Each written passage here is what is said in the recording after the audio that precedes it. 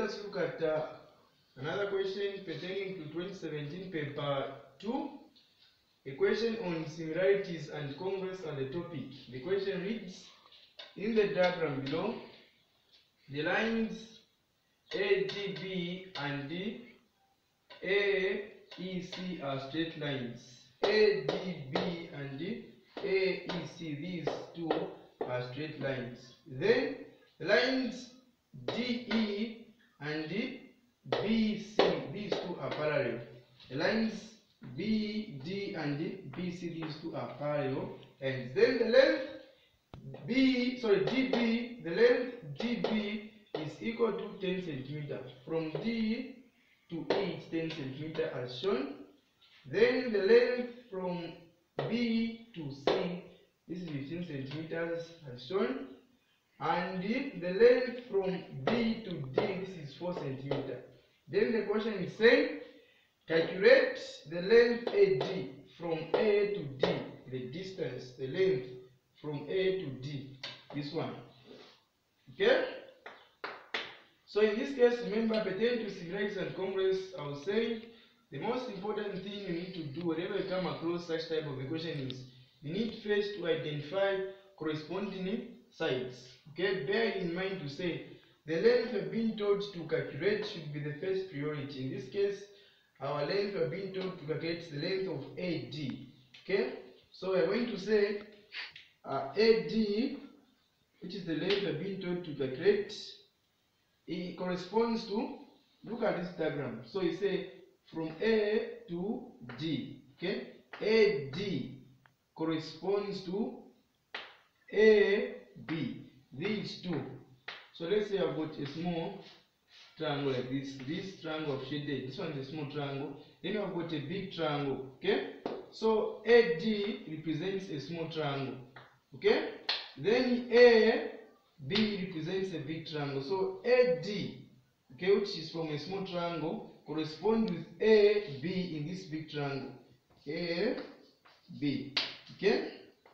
Is equal to then these two parallel lines they correspond okay these are corresponding sides. So it's a DE DE and BC these two are corresponding side as well.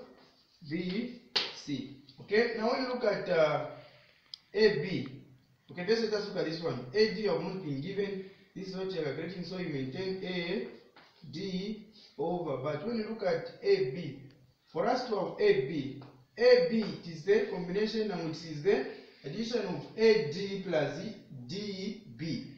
For us to have A, AB is the sum of AD plus DB. So we're saying for us to have AD, we need to add AD plus A, so D B.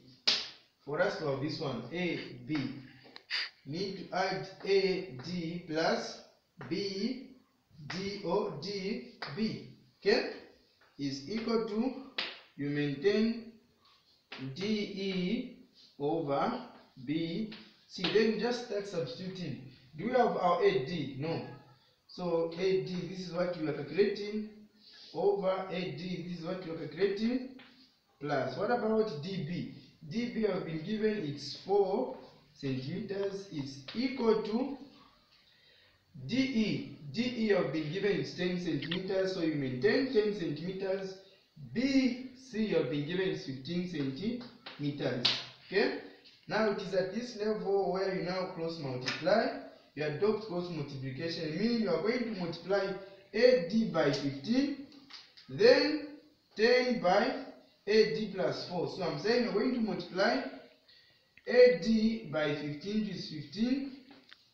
AD is equal to, we're going to multiply 10, I'm multiplying 10 by AD plus 4. Okay? You maintain 15 AD is equal to, remove the brackets by means of multiplying, so it's 10 times AD of 10, 10 AD. Then positive 10 times positive 4 you obtain positive 40 okay? Yes. Then you maintain or you correct like terms add terms together. So you say 50 a d. Then when you transpose this positive 10 ad on the other side becomes negative or minus 10 a d is equal to 40 okay so in this case when you find the difference of 15 ad minus 10 ad you're going to obtain 15 ad minus 10 ad you're going to obtain 5 5 a d is equal to we maintain a 40 this side is equal to 40 so for us to remain with ad divide both sides by the coefficient of ad in this case which is 5 over 5 even on the other side over 5 so 5 and 5 are going to cancel. Going to remain with a d. A d therefore is equal to the quotient of 40 divided by 5 you obtain 8 centimeters as the length of a d. So as simple as that children. Don't even stress. Very naka okay